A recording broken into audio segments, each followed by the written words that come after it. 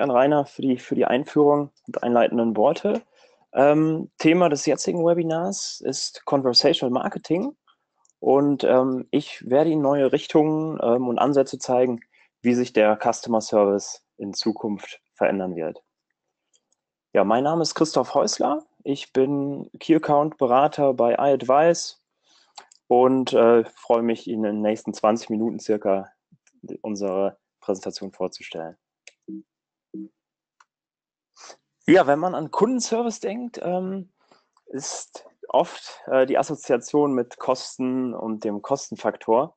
Und es gibt viele sehr negative Aspekte, ähm, die mit dem Kundenservice behaftet sind. Das ist das Beschwerdemanagement, die Wartezeit, kostenpflichtige Hotlines, Warteschleifen, Callcenter, Antwortprotokolle, Textbausteine etc. Das Thema ist ähm, doch sehr negativ besetzt und ähm, ja, Kunden sind nicht, sind nicht immer happy, wenn es heißt, äh, wende dich an unser Service Center und unseren Kundenservice. Und wir mit iAdvice ähm, sagen, dass das neue Marketing tatsächlich ähm, die Konversation im Fokus hat. Das heißt, das Gespräch zwischen Marke, Konsument und Interessent ist entscheidend. Und ähm, wir definieren das, das ganze Thema als Conversational Marketing. Es geht darum, dass Sie ähm, eine ähm, persönliche Beziehung herstellen die natürlich Kundenloyalität schafft zwischen, zwischen ihrem Unternehmen und äh, Interessenten und Kunden. Aber auch ähm, gibt es ein großes Potenzial, dass sie sich stark differenzieren können mit gutem Service. Das ist ein wichtiger Aspekt, der, der auch den Druck nimmt, äh, immer über den Preis gehen zu müssen, sondern angenehme, gute Serviceerfahrung ähm, ist, ist ein starkes Differenzierungsmerkmal. Auch ein ganz wichtiger Aspekt ist die Konversionsrate, ähm, die man direkt beeinflussen kann, indem man ähm, online im richtigen Moment der Customer Journey Hilfe und Beratung anbietet. Ja, einmal ähm, Zug nehmend auf, auf Ihre Kollegen oder wenn Sie selbst im Marketing tätig sind, äh, hat sich sehr viel verändert und es gibt ähm, große Herausforderungen, die wir sehen weiß nicht, wer von Ihnen diesen Online-Banner schon mal gesehen hat. Der ist quasi historisch ähm, aus dem Jahr 1994. Das ist der erste Online-Banner, ähm, den die Welt gesehen hat, ähm, von dem Telekommunikationsanbieter AT&T aus den USA. Und der wurde 1994 ähm, kreiert und, und eingesetzt und äh, hat für heute ähm, ja kaum vorstellbare äh, Klickrate von 44 Prozent erreicht. Das heißt, 44 von 100 ähm, Website-Besuchern oder Online-Usern äh, haben wirklich auf diesen, auf diesen ersten Banner geklickt, während sich die Klickrate dann über die Jahre massiv verschlechtert hat. Und äh, 2017 äh, ist der, liegt der Wert bei nur noch 0,06 Prozent. Ist also vernichtend gering im Vergleich und äh, hat sich immer weiter gen Null entwickelt. Ein weiterer ähm, wichtiger Aspekt ist, dass ähm, die Nutzerzahl an Adblocker in Deutschland ähm, jährlich zugenommen hat. Es waren 2015 noch 25 Prozent, die eine solche Erweiterung des, des Browsers installiert und genutzt haben. 2017 sind es schon 29 Prozent geworden und äh, das heißt, dass die, dass die Menschen ähm, aktiv dieses Werbeformat vermeiden möchten. Ähm, auf der anderen Seite ähm, gibt es äh, Marktzahlen, die beweisen, dass das Budget für Online-Werbung ähm, dennoch ähm, wächst und jährlich mehr da rein investiert wird. Ähm, es ist äh, interessant, weil es muss immer mehr investiert werden um da noch, noch einen einigermaßen äh, guten Effekt zu erreichen aufgrund der, der immens niedrigen Klickraten. Online gibt es allgemein einen ähm, großen Widerspruch. Ähm, laut ähm, ECC-Studien, ähm, ganz aktuellen Zahlen, sind grundsätzlich 27 Prozent von äh, Website-Besuchern und Online-Shop-Besuchern interessiert, eine Transaktion und Einkauf durchzuführen. Aber im E-Commerce-Umfeld sind es durchschnittlich 4,7 Prozent, die das auch tatsächlich tun. Also da gibt es viel mehr Potenzial ähm, und es konvertieren immer noch sehr wenige im Online-Umfeld. Und äh, da kommen wir zur Geltung.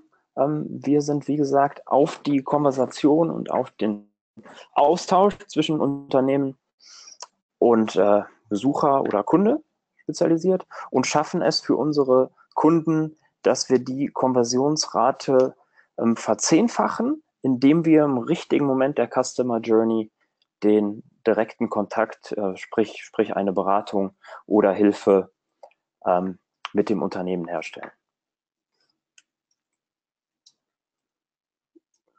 Ein riesiger Trend ist, wie, wie Sie und ich, wie die allermeisten Menschen äh, tagtäglich äh, Facebook Messenger einsetzen, WhatsApp einsetzen, in China ist es WeChat etc. Es gibt vier Milliarden Nutzer weltweit, die über Messaging-Kanäle ähm, täglich im Austausch sind. Das hat nochmal sehr stark sogar die, die Nutzung ähm, der Social-Media-Kanäle überholt.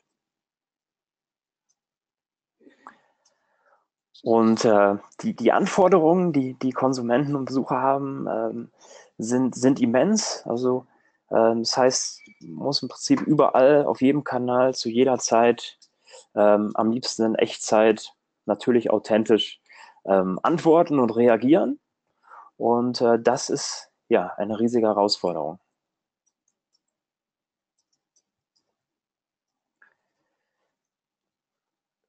genau dafür, da, da, weil es ähm, ja unzählige Kontaktmöglichkeiten gibt heutzutage und äh, Touchpoints, ähm, haben wir eine zentrale Plattform geschaffen, die es ermöglicht, ähm, den Austausch und die Konversation im richtigen Moment äh, über vielzählige Kanäle anzubieten. Und neben der Technologie haben wir äh, helfen mir sogar, dass, dass ähm, auch der, der Service und die Beratung auf der anderen Seite sichergestellt werden, indem wir eine ähm, Experten-Community aufgebaut haben. Das sind begeisterte äh, Konsumenten oder Nutzer zum Beispiel von Elektronikartikeln. Ähm, das sind begeisterte Reisefans oder Outdoor-Sportfans, die im Namen einer Marke anderen Nutzern helfen und äh, Beratungen übernehmen, zum Beispiel abends oder am Wochenende. Da komme ich gleich nochmal näher zu. Ähm, hier mal eine Übersicht, wie iAdvice aufgestellt ist. Also wir ähm, haben global fünf, fünf Offices. Ich selber sitze hier in Düsseldorf am Standort, ähm, haben weitere Kollegen in äh, London, UK, in Madrid, ähm, in Boston, USA und gegründet wurden wir mit unserem Headquarter in Nantes, Frankreich. Ähm, vom Kundeneinsatz ist das sehr, sehr breit gemischt. Das heißt, es gibt ähm, vielzählige Unternehmen natürlich im, im Einzelhandel und E-Commerce. Es gibt aber auch Automobil-, Energie-, Versicherungsunternehmen, sehr viele Tourismusanbieter. Quasi alle Unternehmen äh, haben Interesse äh, im Rahmen der digitalen Transformation äh, hier eine Lösung zu schaffen.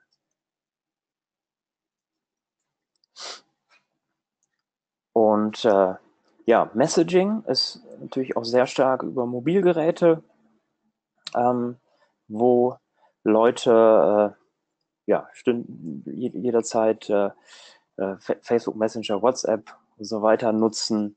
Ähm, das ist ein ganz wichtiger Aspekt. Und man kann sagen, dass, dass die Kunden mittlerweile überall sind, äh, von ähm, sozialen Medien über Blogs, über Google, ähm, WhatsApp etc. gibt es äh, zig Kanäle und äh, aus diesem Grund haben wir eine zentrale Plattform geschaffen, die ähm, viele verschiedene Kontaktmöglichkeiten für Sie ermöglicht. Das ist einmal das, äh, dass es über Messaging über die Webseite läuft. Das ähm, ist mittlerweile sehr bekannt als ähm, Live-Chat, der immer mehr ähm, genutzt wird. Es kann aber auch ein ähm, eingebetteter ähm, ähm, Call sein, Click-to-Call, das äh, in bestimmten Szenarien der Webseite angeboten wird, sofortigen Te Telefonanruf auszulösen. Es kann genauso eine Videoberatung sein, soziale Medien, äh, SMS oder die wichtigsten Messenger-Kanäle. Ähm, grundsätzlich ist es ganz wichtig, dass man ähm, eine Strategie überlegt und genau ähm, überlegt, in welchem Kontext und wo man seine Interessenten und, und Kunden ansprechen möchte. Ähm, dafür haben wir eine sehr umfangreiche Targeting-Engine, mit der man äh, beliebige ähm, Business-Regeln definieren kann, über die ein Dialog, sprich eine Konversation angeboten wird. Das kann zum Beispiel eine bestimmte Verweildauer auf einer ähm, definierten URL sein. Das kann eine bestimmte Warenkorbgröße sein oder ein, äh, äh, im, im Sales Funnel eine bestimmte Stufe sein. Das ist sehr, sehr variabel. Insgesamt gibt es mehr als 100 Targeting-Kriterien. Und uns geht es darum, wo wir Sie beraten und äh, helfen, die, die für Sie passende Strategie zu entwickeln, dass Sie wirklich die Menschen erreichen und ansprechen, die entsprechendes ähm, Kaufpotenzial haben und auch eine interessante Wahrscheinlichkeit, dass äh, eine Transaktion ähm, auf Ihrer Seite ausgeführt wird.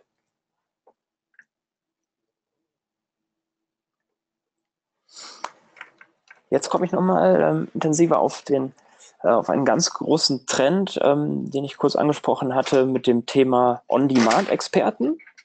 Ähm, weil wir beobachten bei unseren Kunden, dass es eine Vielzahl von Kontaktmöglichkeiten gibt, die einfach nicht bearbeitet werden können. Es liegt in der Natur der Sache im E-Commerce, im äh, digitalen Umfeld, dass gerade abends, wenn die Leute viel Zeit haben nach Feierabend oder an Wochenenden und Feiertags, ähm, Traffic Peaks ähm, vorkommen. Das heißt, da gibt es sehr viele Nutzer, die im Online-Shop unterwegs sind und dann leider nicht mehr den, den benötigten Rat bekommen, weil die Serviceagenten, die Berater selber im Feierabend sind.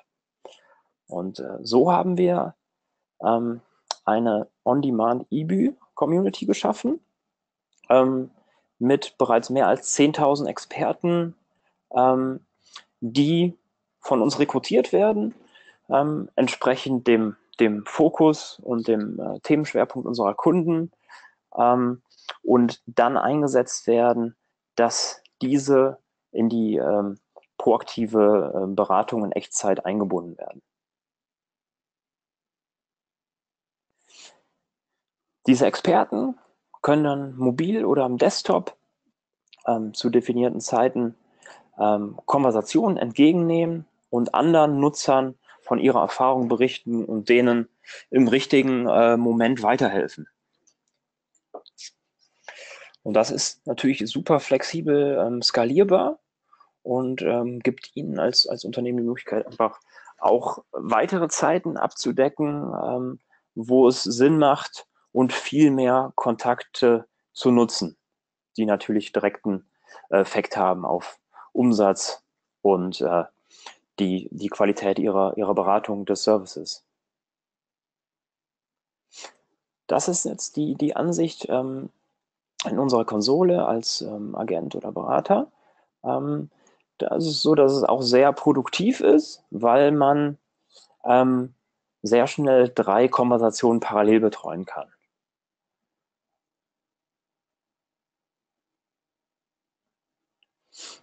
Ganz wichtig ist natürlich das Reporting, ähm, dass die wichtigsten KPIs definiert werden. Die werden in Echtzeit ähm, im Backend angepasst kann man jederzeit einsehen, wie viele Kontakte, wie ist die ähm, Qualität etc., wie ist der Umsatz, der daraus resultiert und äh, hat da einen sehr, sehr schönen Überblick über die äh, Qualität der Beratung und dem tatsächlichen Impact. Jetzt habe ich mal einige interessante Cases ähm, von deutschen Unternehmen ähm, die mit uns länger zusammenarbeiten, ähm, um da mal ein paar konkrete ähm, Zahlen und Ergebnisse zu nennen. Das ist das Energieunternehmen Integra zum Beispiel. Ähm, die sind mittlerweile sehr, sehr fit und, und schaffen es, ähm, was sehr wichtig ist, dass die erste Antwortzeit, dass die erste Antwort nach ähm, 35 Sekunden im Durchschnitt erreicht wird. Also dem Kunden wird extrem schnell geholfen. Ähm, es ist eine äh, überdurchschnittlich hohe Zufriedenheit, 96 Prozent ist sehr gut und äh, sind, sie nutzen über uns eine sehr breite Ansprache, verschiedene Touchpoints, insgesamt sechs Kanälen ähm, mit Chat, mit ähm, Videoberatung, mit Facebook, WhatsApp. Das die Cosmos Direct, eine bekannte Marke aus der Versicherungsbranche. Ähm, hier sind ein paar Ergebnisdaten, ähm, dass eine durchschnittliche Beratung ähm, im Produktumfeld ca. 13 Minuten dauert. Ähm, sie sind sogar noch schneller, wir schaffen es nach 19 Sekunden bereits äh, auf die Frage des, des äh, Kunden zu antworten und dem weiterzuhelfen und äh, erreichen eine bewertete Zufriedenheit von 98 Prozent nach einem Chat-Austausch. Das ist ein anderes sehr spannendes Beispiel. Das ist ähm, ein äh, stark finanziertes ähm, Startup im Bereich Do-it-yourself, ein bisschen wie Obi ähm, im, im Online-Umfeld. Das heißt, den ganzen Bedarf für, für Heimwerker und Handwerker. Und äh, die nutzen extrem stark unseren Tool an On-Demand-Experten, ähm, haben das immer weiter ausgebaut. Und erreichen mit denen ähm, eine Servicezufriedenheit von 91 Prozent und eine extrem starke Conversion von 20 Prozent nach einem Beratungsgespräch mit einem Experten.